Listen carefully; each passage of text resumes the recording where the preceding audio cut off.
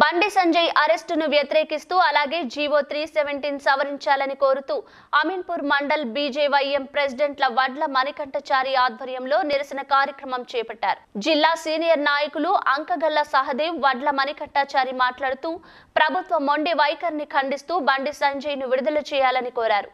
రానున్న రోజుల్లో తెలంగాణలో బీజేపీ ప్రభుత్వం వస్తుందని తెలియజేశారు.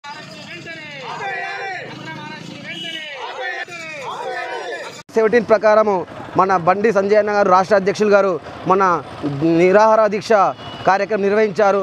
కాబట్టి ఆ రోజు పోలీసులు అన్నగారిని చాలా వేద వేది వేధించి మరి ఆయనను అరెస్ట్ చేయడం జరిగింది. పద్నాలుగు రోజులు పద్నాలుగు రోజుల పాటు ఆయన పైన ఉన్న కేసులన్నీ ఎత్తివేయాలని కోరుకుంటున్నాము. రేపు కేసీఆర్ గారి పతనం ఖాయం.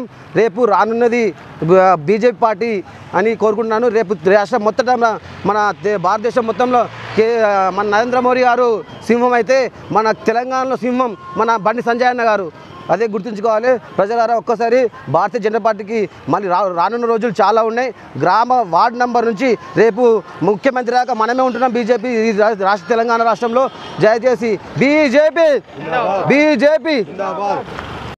Bharatiya Janata Party Telangana రాష్ట్ర అధ్యక్షుడు శ్రీ బండి సంజయ్ అన్న గారి అరెస్టును తీవ్రంగా ఖండిస్తూ అమీన్పూర్ మండలంలోని కిషన్రెడ్డిపేట గ్రామంలో నిరసన ప్రోగ్రాం చేపట్టడం జరిగింది. కేసీఆర్ ఉద్యమిస్తాం.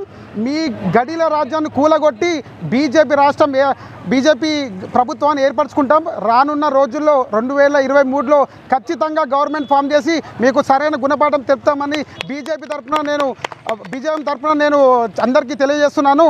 ఓడలు బండ్లు అవుతాయి బండ్లు ఓడలు అయితే ఇది ఒక్కటి గుర్తుపెట్టుకోండి. రానున్న ప్రభుత్వం బీజేపీతే జై బీజేపీ! జై బీజేపీ! జై BJP! Please like and share, subscribe to BCN Telugu News. Please like, share and subscribe to BCN Telugu News.